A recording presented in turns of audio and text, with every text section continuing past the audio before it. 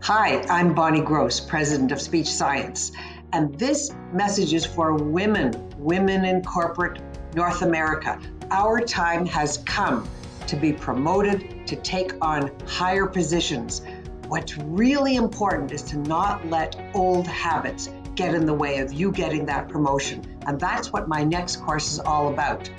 Let's look at some of the speaking problems that we as women often have that prevent us from being seen as leaders. Number one, a voice that's too high pitched, too much like a little girl voice. This is a habit, and you can change it and improve it. Another one is uptone.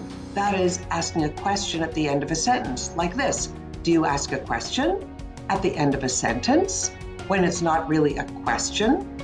It's a habit, and you can change it. Another one is the language that we as women tend to use in negotiations. We're too apologetic. Now, that doesn't mean that we're all like that, but some of us are. And there are many more important tips and tricks and things that I can teach you to sound good every time you speak, every time you participate in a meeting, Zoom call, etc., and show yourself off as your very best.